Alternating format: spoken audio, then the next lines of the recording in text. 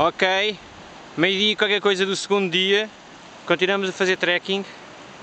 A Maria e a Victoria voltaram para trás. Tivemos de subir isto pelos nossos próprios meios.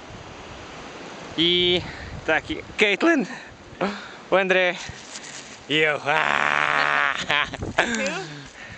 Está a ser brutal, vai ser muito fixe. Pronto, trilha é mais ou menos assim, às vezes é bastante pior. Ok pessoal, depois mostro-vos o campo.